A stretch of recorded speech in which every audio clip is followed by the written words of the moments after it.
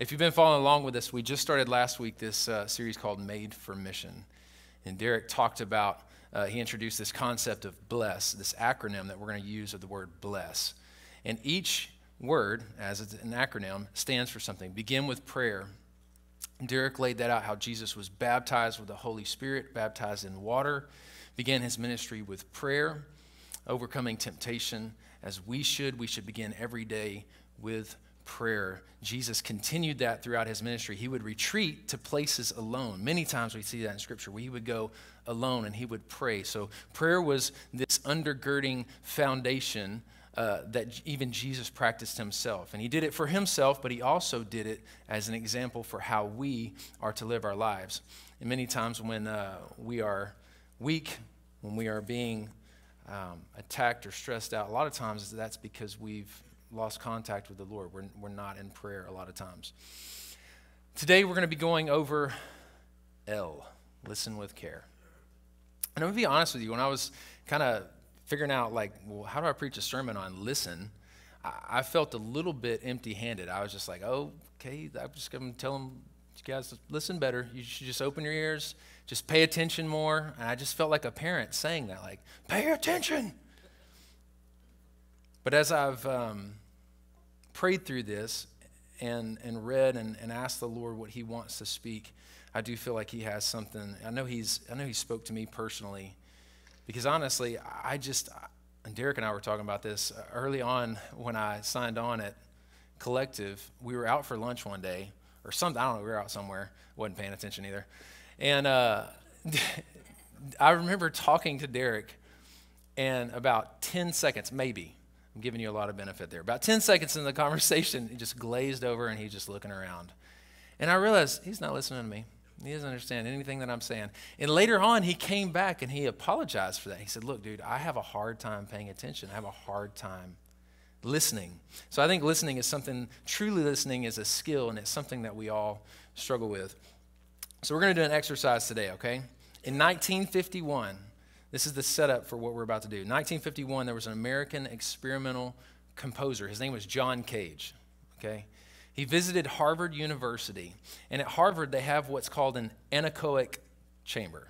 Okay? You write that word down. If you learn how to spell it, let me know. Anechoic chamber means it's a room that's been treated internally to where there's no reflective surfaces.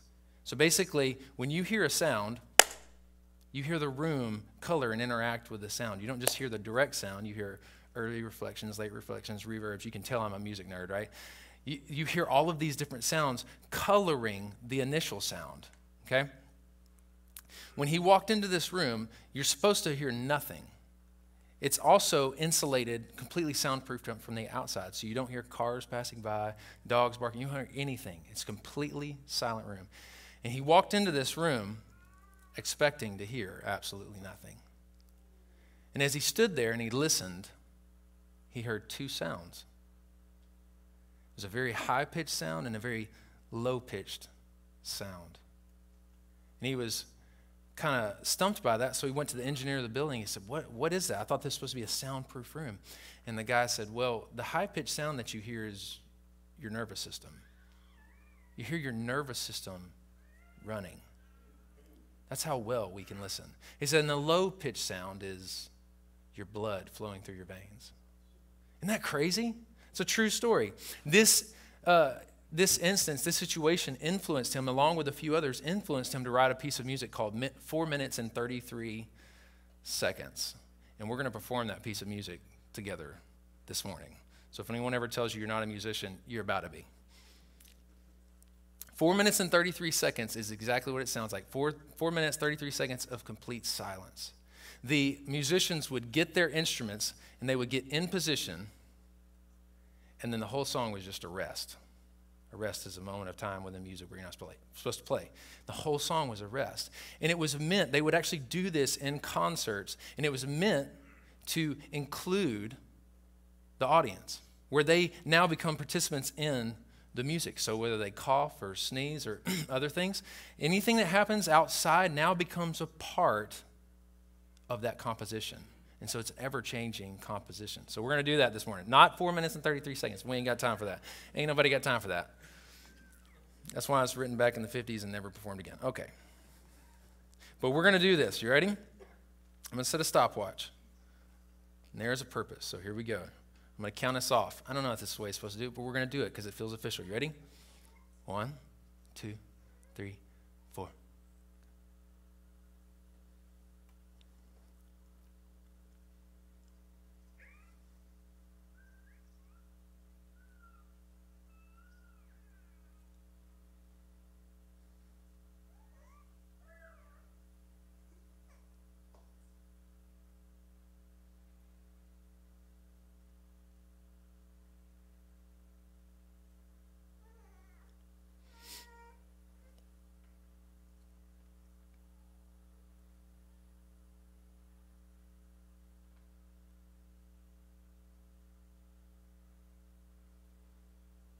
That's quiet as my kids have been all week. that was about 35 seconds worth of that song. I don't know about you guys, but about 23 seconds in, I started to hear things I, I, that my conscious mind would not even register a while ago. I started to hear the kids in the background. I started to hear the hum of the lights.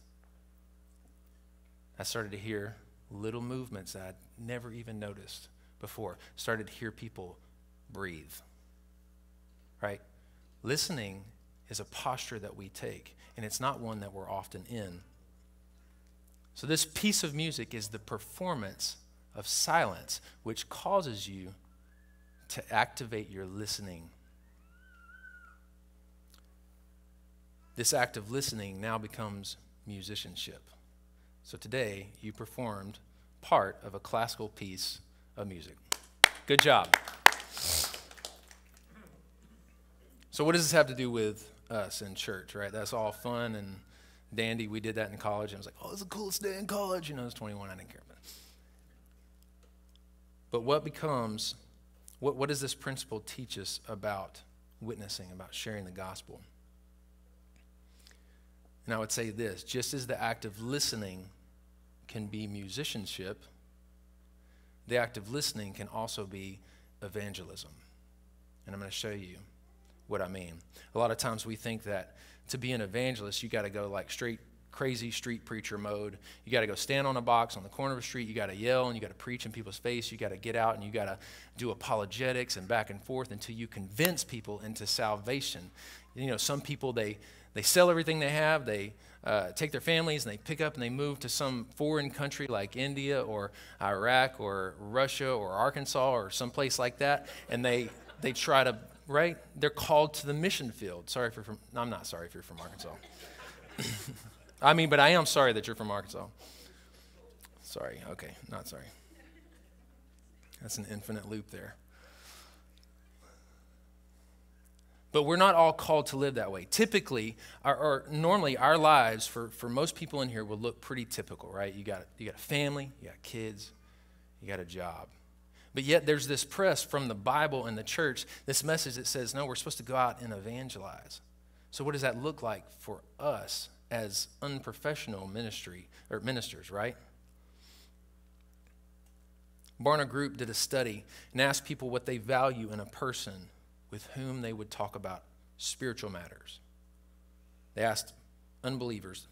They had three top results. These are it. I think we can learn a lot from this study. They wanted somebody who would listen without judgment. They wanted someone who would listen without judgment. I want to give you two definitions for judgment so that we can understand what this means. Because the Bible does tell us to judge. It says, You will know a tree by its fruit. But the Bible says that there's one judge, and that's Christ. So he's talking about the ability to execute sentence or, or to condemn someone.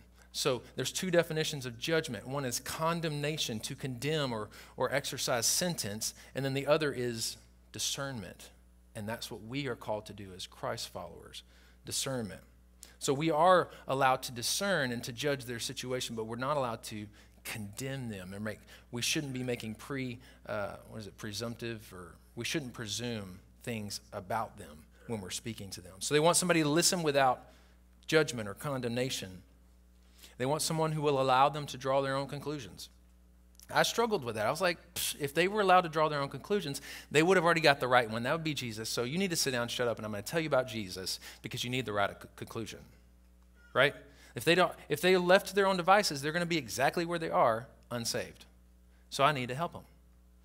Although that's true, they want someone who's going to help lead them Acts 17, 26 through 27 says this And God made from one man every nation of mankind to live on all the face of the earth, having determined allotted periods and boundaries of their dwelling places. So God determined where you're going to be, where you're going to live, and what you're going to do, that they should seek God and perhaps feel their way toward Him and find Him. Yet He is actually not far from each one of us. That verse really helped me to understand that, you know what, I don't have to, to force people into Jesus, but I do need to be there to guide them to Him. Because at the end of the day, people are seeking, and what they're seeking is God, whether they know it or not. The Barna, uh, Barna group did another study, and they found that 87% of people are actually interested in Christianity and what it can mean for their lives. 87% of people. That's a lot. That's a lot. But the next thing that they desired, the number three top thing, was they wanted someone who was confident in sharing their own perspective. So they do want to hear what you have to say. But there's this, uh, they give us the, the, the outline. That, you know, if you go to a physician, a good physician at least, they're going to ask you, what's wrong? And you're going to tell them. They're going to listen first before prescribing. Uh, a medication or treatment, right? They're going to listen first. The doctor who invented the stethoscope, because uh, he was uncomfortable about placing his ear up against a woman's chest, he, he invented the stethoscope. And what he told his students when he gave it to them was don't stop listening. How odd that he would give them something to listen with, and then he would say, Don't stop listening. And he was talking about don't stop listening to their words. He said, Because they will tell you how to heal them if you just let them talk. There's a lot of carryover that we can take from these principles into our lives as everyday followers of Jesus. Like that little plug of our mission statement, hmm? Like that? Some good stuff. So, in short, people are looking for a friend who will give good news, be good news, and share good news in their own story. You know, it's interesting, uh, especially in a world we live in where there's like this demand to understand everything that you about everything that you believe. Like apologetics is a big deal, right? I don't know if y'all any of y'all have felt that, but apologetics is a big deal. And then I found this number. Did you know that Jesus asked more questions than he answered? He asked 307 questions and answered three, to be exact. He asked 307 and only answered three questions. There's an old saying that people don't care how much you know until they know how much you care. Are you guys feeling what I'm trying to say? We need to open our ears and listen. We need to be ready to hear people's story because they will tell us what's wrong and we will be able to meet them with a solution, which is a Christ centered solution, the comfort of the Holy Spirit, the salvation from sin.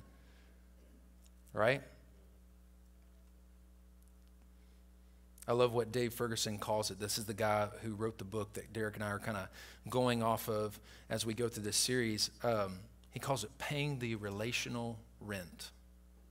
Paying the relational rent. How many times you've been in the conversation with somebody and you're just like, I don't even know you, don't care what you have to say, stop talking to me? maybe, am I the only one? Or am I just the only one honest enough to admit it?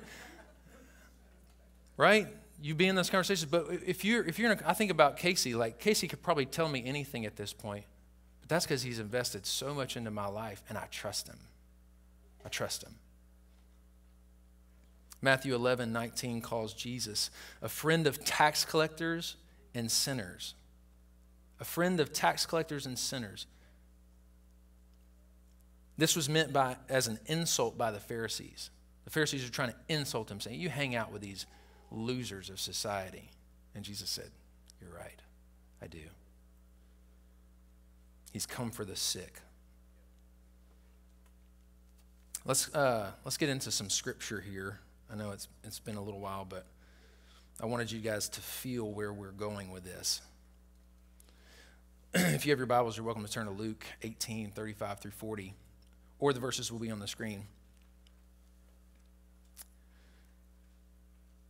It says, As he drew near to Jericho, talking about Jesus, he was, uh, little setup, he was just passing through the area. He was headed somewhere else. What we're about to see this encounter is a total random reaction or total random situation. I love what Casey calls it uh, divine interruptions. And these happen all the time, I think. And, and we live our lives just in tunnel vision, but Jesus did not. It says, As he drew near to Jericho, a blind man was sitting by the roadside begging. And hearing a crowd going by, he inquired what this meant. The people told him, Jesus of Nazareth is passing by. And so the man cried out, Jesus, son of David, have mercy on me. And those who were in front of the crowd rebuked him, telling him, Be silent, get back, get back over there. But he cried out all the more, Son of David, have mercy on me. And Jesus stopped and commanded him to be brought to him. And when he came near, Jesus asked him. There's the question What do you want me to do for you? You think that'd be pretty obvious, wouldn't you? Just hold the blind man to him. But he asked him, What do you want me to do for you? He said, Lord, let me recover my sight. And Jesus said to him, Recover your sight. Your faith has made you well. Situations like this, scriptures like this, it's easy to see the miracle. And, and that's kind of the point, right? We, that's part of the point of the story is the miracle. And it's easy to see that. And we, that's the glittery thing in the scripture. That's the amazing thing that draws our attention is this miracle. But something more important is happening here, and it's the way that Jesus is choosing to interact with someone. He is choosing to place value on this person, this person that society has outcast, considered not worth listening to. They all heard him, and they were ignoring him. And I just wonder how many times in my life do I walk by people that have looks on their faces or a countenance upon them that I could simply say, hey, are you okay? What's going What's going on? And I choose not to interact with them because it wasn't on my agenda. It wasn't on the itinerary. But Jesus saw him as a person. He didn't see the miracle. He didn't see this person as a means for his miracle. Oh, I, I, need to tell people who I am. I want you to go out and, and tell people who healed you. Jesus wasn't using this to gain popularity and fame, he was using it to draw attention to the fact that he was valuable as a person. This person on the fringes is made in his very image. He wasn't just another notch on the pistol of Jesus' miracles. Why don't we take time to listen? Why is listening so hard? Well, because it takes time. It takes time, it takes surrender, it takes selflessness to sit there and say, I care about what you have to say. Takes work to read between the lines, right? People, some people aren't even good at talking, and the words they say don't even describe what they're trying to say. You've heard, this, you've heard the saying, read between the lines? I think there's a call for us as Christians to listen between the words. As people talk, we're trying to discern what's actually going on so that we can meet them and help them. It's difficult. It's difficult to not just think of a response. I, my wife and I do this all the time. She'll be talking, and I'm just thinking about what I'm about to say. You guys ever do that? I'm, I'm, again, I must be the only one. It's difficult to put down our want to be heard and interject in the situation and just truly care and say, I'm here for you. So let's uh, go to the second scripture, John chapter 5, verses 1 through 8. We're going to see a similar instance. It says, After this, there was a feast of the Jews, and Jesus went up to Jerusalem. Now, there's in Jerusalem by the sheep gate a pool in Aramaic, it's called Bethesda. You may have heard of this pool. It was, a, it was believed that um, as the waters were stirred at a certain point, if you got in, you get healed. And so it was surrounded by invalids, people with physical illnesses. It says in the uh, yeah, it was uh, in Aramaic called Bethesda, which had five roofed colonnades. There were roofed areas right around the pool. They could sit in the shade and wait for the waters to be stirred. It says, In these lay a multitude of in- invalids, blind, lame, and paralyzed. One man was there who had been there, uh, who had been an invalid for 38 years. When Jesus saw him lying there and knew that he had already been there a long time, he already knew. He said to him, do you want to be healed? I mean, the obvious answer is duh. Right? And Jesus could have easily walked by, probably never said a word, and just like healed him. Never even had to be there. But what was he doing? He was drawing attention to the fact that he was not only in need, but he was valuable as a person. This man had been outcast for 38 years. No one even helped him get into the pool. Can you think about being that lonely for that long? And Jesus walked up to him and said, Hey, you want to be healed? And the man didn't just say, Yeah, let's go. He said, The sick man answered, Sir, I have no one to put me into the pool when the water is stirred up. And while I'm going, another steps down before me. Jesus said to him, Get up and take your bed and walk. And at once the man was healed and took up his bed and walked. Again, it's easy to look at the miracle. But it's important for us, if we are going to be true Christ followers and learn to walk and live as he lived, we have to look at what he did and why he did it. He cared enough about people to interact with them. Jesus, God, came in incarnate flesh and dwelt among us. He took the time to feel what we feel, to carry what we carry. That's powerful. So Jesus asked questions. He listened to the man and his story, and then he gave testimony about himself.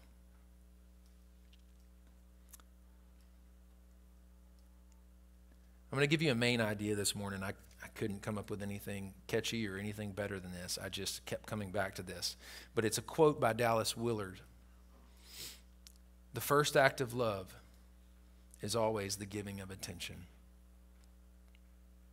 The first act of love is always the giving of attention. Scripture is replete and full of examples like we just read, these kinds of interactions, these divine interruptions. And it would be easy to say, yeah, that was the Son of God, though. But Jesus said, You'll do greater things than these when the Holy Spirit comes? Are we paying attention throughout our day for divine interruptions, looking for opportunities?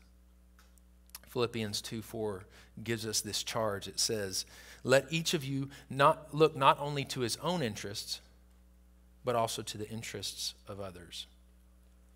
That's really hard. It's really hard to genuinely put my own interests down and to invest my time and attention into someone else.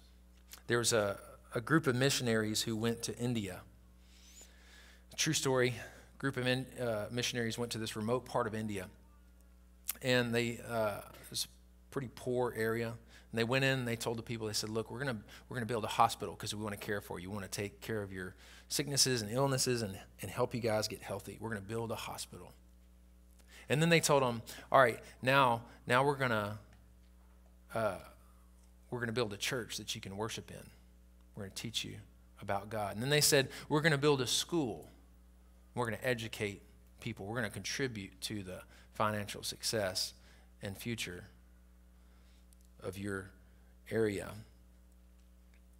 And then at one point, someone finally asked them, what, can, what do you want us to do for you? And the answer surprised them. They said, We would like a zip code. We just want a mailbox. And they were like, What? And they said, Well, without, without a zip code, without an area code, you can't No one knows we're even out here. We can't send correspondence back and forth. We can't communicate to the government. We can't take part in the, the benefits of our country. We can't, we're not even seen out here. We're not even known. And they thought, well, that's, that's real simple. It took them two years to get a zip code for that area. Sometimes our interactions with people and leading them to Christ and helping them find a rich relationship with Christ will take time. But we have to be willing not to just go out there and think we know what they need. They need Jesus. Jesus, if you really mean it. We, we can't just approach people assuming we know what they need. And this is where we take the example of Jesus and we ask questions, trying to get people talking. Pastor gave an example one time of um, there was a guy in small group that was just constantly talking, never let anybody else talk. I'm not gonna not gonna make any jokes, but sometimes I might be that person in our small group. I'm just saying. But this guy would never stop talking. And the pastor kind of got fed up with it. And he was like, okay, I got to say something. So he went to the guy and he said, hey, look, man, I'm glad you're into this. He said, but really, you need to give some space. And you need to stop talking because people don't even really want to be around you right now. And he just gave it to him straight, ripped the band aid off. And he said, the guy just downcast, just his face fell, his countenance fell. And he was like, oh no, I just messed up. So he asked the guy, what, what's the matter? He said, with my job, he said, this is the only human interaction I get once a week. He said, I'm afraid if I don't talk to people, they're not going to want to talk to me. And this pastor realized he probably should ask questions first. Yeah, the guy may need to hear that, but he could have heard it with a better heart if he'd had a conversation first. Don't presume to know the answer. David Augsburger, what a name, authored a book called Caring Enough to Hear and Be Heard. And he said this Being heard is as close to being loved that for the average person, they are almost indistinguishable. Indistinguishable. That's powerful, y'all. Think about your marriages. Think about your kids. How much time do you talk with your kids? much less people who are outside of your normal bonds of relationship. But being heard is as close to being loved for that, that the average person, it's almost indistinguishable. The problem is most people are more interested in what they have to do and what they have to say than taking the time to listen. David Ferguson said this Everyone has a story, but few people who will listen to that story. And I think that's true. When you find a friend who will converse with you about the deep things in your life, what an incredible moment that is. Is that not such a relief to be able just to talk sometimes and say, man, this is what I got going on? And to know that you're seen and heard? That's an incredible feeling. And there, there are millions of people out there who, who don't really have someone like that. They're interested in knowing what Christianity can do for their lives, and yet no one will listen to their story and help them connect the dots and feel their way to Jesus, as the scripture says.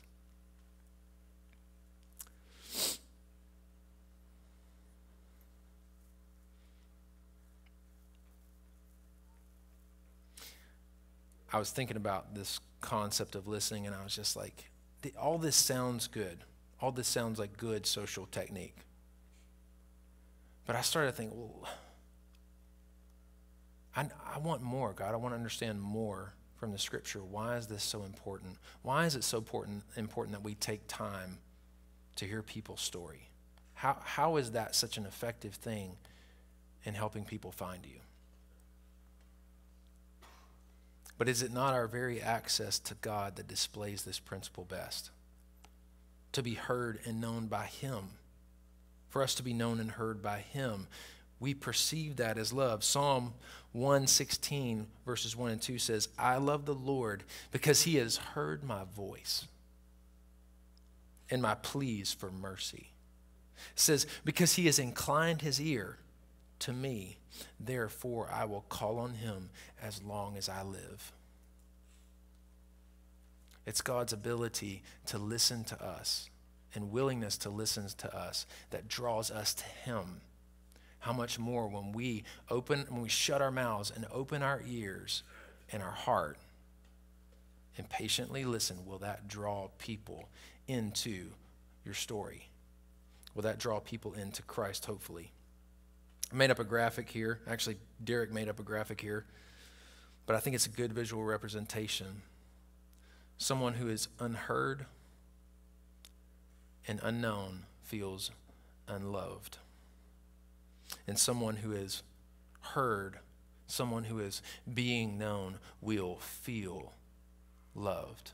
The Bible says that a gift makes room for the giver. I want you to think about that. The gift makes room for the giver. Jesus' sacrifice on the cross made room for him in our hearts. Our act of listening will make room for our testimony to be planted when we have paid that relational rent, if that makes sense. Even Jesus on the cross, I started to think about this. The Bible says that Jesus has struggled in every way that we have struggled. He has felt our infirmities, yet without sin. The Bible says our sin was placed upon him. Even Jesus has felt unheard. Scripture tells us that when he was on the cross, sin, our sin was laid upon him. And for a moment, the Father had to turn away because he couldn't bear to see his Son covered in our sin and he had to turn away. And Jesus said the famous words, My God, why have you forsaken me? So to feel unknown is to feel unloved. And I hope you feel that this morning. It's that simple to have a conversation and to express the love of Christ through a listening heart. Um, you guys can come up. This is a very short sermon. I don't think it needs to be any more than it is. Um,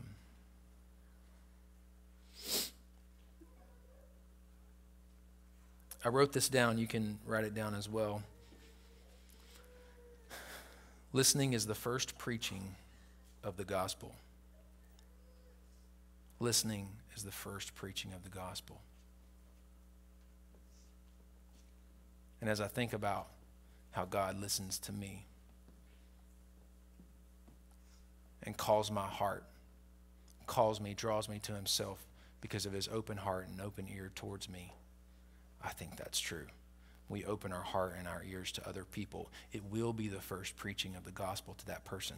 They may not even know God. They're going to be they may even be an unbeliever, but they're going to experience the sweetness of that relationship that we have with God the Father to be known and heard by him. They're going to experience that in relationship and they're going to be drawn to that. Being heard is as close to being loved that for the average person, they are almost indistinguishable. I want you to walk away with that this morning. Loving people is pretty easy. And again, most people want to hear about Christianity and how it interacts with their life and what it could mean for them. Most people want to hear that. That's pretty cool. G, uh, Derek preached last week. He said, um, quoted Jesus said, The harvest is plentiful, but the laborers are few. Pray to the Lord of the harvest that he'll send laborers. And I would say ours is, this week is to pray to the Lord of the harvest that he would send listeners.